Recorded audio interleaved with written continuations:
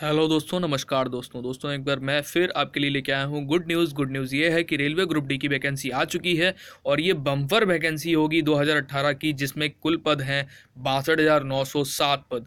दोस्तों, सही और 100 परसेंट सही पूरी जानकारी के साथ मैं आपको इस वीडियो में पूरी जानकारी देने वाला हूँ। हमारे साथ वीडियो में बने रहें और पूरी जानकारी ले लें। चलिए स्टार्ट करते हैं। ये दोस्तों नोटिफिकेशन है। देख पा रहे होंगे, यहाँ लिखा हुआ है government of India ministry of railways railways requirement board यानी पेपर में रिक्वायरमेंट निकाली हुई थी रेलवे ने। आप यहाँ देख पा रहे होंगे। मैं आपको जूम करके तो नहीं दिखा पाऊँगा बट आप ये देख लीजिए कि इसमें जो नोटिफिकेशन आया हुआ है, ये एम्प्लॉयमेंट नोटिस यहाँ पर दिया हुआ है, ठीक है ना? एम्प्लॉयमेंट नोटिस चलिए, आगे देखते हैं। मैं आपको पूरी न्यूज़ दूँगा, सब कुछ बताऊँगा, क्या, कब से ऑनलाइन होगा डेट क्या है ऑनलाइन की लास्ट डेट क्या है फ़ीस क्या है, कहाँ कहाँ से अप्लाई आप कर सकते हैं एलिजिबल हैं कि नहीं है आईटीआई मांगा है कि नहीं मांगा है, सारी जानकारी दूँगा। अगर आपने मेरे चैनल को सब्सक्राइब नहीं किया है तो प्लीज़ मैं एक बार फिर से आपसे बोलूँगा चैनल को सब्सक्राइब कर लें बेल आइकन को प्रेस कर लें, नीचे रेड कलर की आपको बटन दी होगी, उसको दबा के चैनल को सब्सक्राइब कर लें चैनल से जुड़ जाएँ। और बेल आइकन को प्रेस कर लें। बेल आइकन को प्रेस करने से आपको नोटिफिकेशन जो है टाइमली मिलते रहेंगे।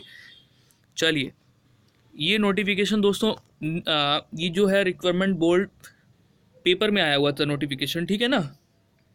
ये इसमें दिया हुआ है। अच्छा मैं यहाँ पर आपको दिखा दूँ। ऑनलाइन की जो डेट दी है दस दो यानी दस फरवरी से फॉर्म ऑनलाइन होने लगेगा और क्लोजिंग डेट यानी लास्ट डेट दी हुई है बारह तीन यानी बारह मार्च को इसकी लास्ट डेट है ठीक है?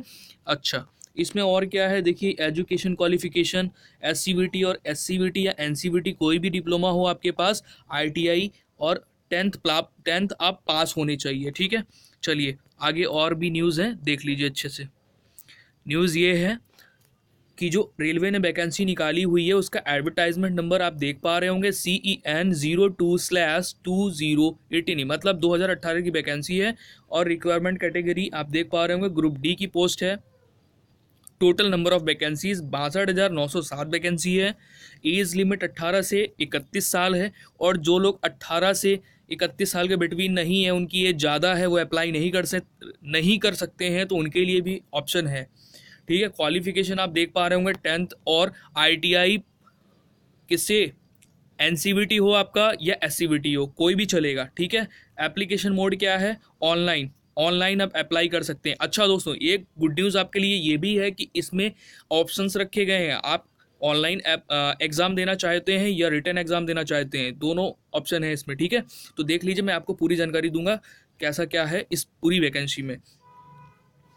Date of online application start हो जाएगा 10 फरवरी से और लास्ट डेट है 12 मार्च, ठीक है दोस्तों? चलिए, आगे आते हैं। आप कहाँ अच्छा वैकेंसी इसमें कौन कौन सी है तो वैकेंसी आप देख पा रहे होंगे ग्रुप डी की वैकेंसी कौन कौन सी गैंग मैन की है स्विच मैन की है ट्रैक मैन की है और कैबिन मैन की है लेबर मैन की है पॉइंट्स मैन की है हेल्पर की है ठीक है और ग्रेड डी स्टोर की है की मैन की है संटर की है वेल्डर की है फिटर की है पोर्ट पोर्टर की है ठीक है हेल्पर ये मैकेनिक हेल्पर होगा ठीक है और ये हेल्पर की वैकेंसी है और चलिए आगे देखते हैं, ये वैकेंसीज़ की आपने जानकारी ले ली।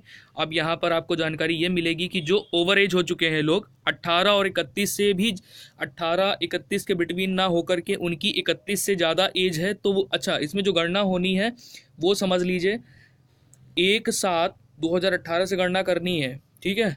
तो इसके अकॉर्डिंग ही गणना होगी एज की अगर एलिजिबल हैं आप 18 साल के हो चुके हैं तो अप्लाई करिएगा। अदरवाइज़ बिल्कुल भी अप्लाई मत करिएगा, जो 18 के नहीं हुए हैं अभी। अगर अप्लाई करते हैं तो आपका फॉर्म तो ऑनलाइन हो जाएगा बट आपको एग्ज़ाम देने को हो सकता है, ना मिले। एडमिट कार्ड आपका नहीं आएगा। ठीक है? चलिए जान लीजिए किन कैटेगरी के लिए, किन कैटेगरी के लिए जो कैटेगरीज हैं, किनको किनको छूट कितनी मिलनी है? एस सी को पाँच साल की मिलेगी ओबीसी को तीन साल का। एज रिलैक्सेशन मिलना है, ठीक है? और बाकी को पाँच साल का पीडब्ल्यूडी वालों को दस साल का, ठीक है? आगे देखते हैं। आगे है इसमें rail, railway group D. Railway group D, education qualification. क्या होनी चाहिए एजुकेशन क्वालिफिकेशन? इसमें आपको संपूर्ण जानकारी मिल जाएगी। पूरी पूरी जानकारी इसमें आपको मिलेगी एजुकेशन की। एजुकेशन क्या है? एजुकेशन जो candidate who have passed who have pass जो पास हो चुके हैं हाई स्कूल और I T I equivalent examination cancelled application for एक second application for the railway group D application form if you have appeared मतलब अगर आप appeared हैं recently in final exam final stage exam and waiting आप wait कर रहे हैं for the result result का then you can also submit for the application आप एप्लीकेशन फॉर्म सबमिट कर सकते हैं, अगर आप रिज़ल्ट का इंतज़ार कर रहे हैं तो। कब का? फाइनल स्टेज का, ठीक है? अच्छा रेलवे की रेलवे ग्रुप डी की जो सैलरी है ग्रुप डी की सैलरी अट्ठारह हज़ार रुपये है, ठीक है? अट्ठारह हज़ार रुपये से स्टार्टिंग है, ठीक है ना? अच्छा और लास्ट में मैं आपको दिखा दूँ एप्लीकेशन फ़ीस आपको कितनी देनी है। इसके लिए एप्लीकेशन फ़ीस आपको देनी है, पाँच सौ रुपये देनी है जनरल ओबीसी वालों के लिए, और एस सी एस टी वालों के लिए ढाई सौ रुपये दो सौ एस सी एस टी वालों के लिए ढाई ढाई सौ रुपये ठीक है? टू फिफ्टी अच्छा चलिए। अब आपको सिलेक्शन प्रोसेस बता दिया जाए। सिलेक्शन प्रोसेस आपका क्या होने वाला है? सिलेक्शन प्रोसेस ये होगा कि पहले तो आपका कंप्यूटर बेस्ड टेस्ट होगा, यानी C B T computer based test होगा सी बी टी हो सक, आपके ऑप्शन जैसा आप चूज़ करेंगे उसमें, ठीक है ना? आप अगर उसमें सी बी टी करते हैं तो सी बी टी आपका होगा। अगर आप रिटर्न टेस्ट के लिए अप्लाई करते हैं तो रिटर्न टेस्ट होगा आपका, ठीक है? बाई एप्टीट्यूड होगा, ठीक है? स्पीड स्किल टेस्ट क्लियर अच्छा अब उसके बाद आपका लास्ट में जो होगा वो डॉक्यूमेंट वेरिफिकेशन होगा और मेडिकल होगा। ये प्रोसेस आपका सिलेक्शन प्रोसेस होगा। सिलेक्शन प्रोसेस के बाद आप जॉब के लिए तैयार हो जाइए और जॉब करिए, ठीक है? तो दोस्तों, मेरी ये वीडियो आपको अगर अच्छी लगी हो तो प्लीज़ लाइक करिएगा। लाइक करना बिल्कुल भी मत भूलिएगा। लाइक करने से मुझे मोटिवेशन मिलता है। मैं आपके लिए ऐसे ही न्यू न्यू वीडियो और अच्छी अच्छी वीडियोज़ लाता रहूँगा।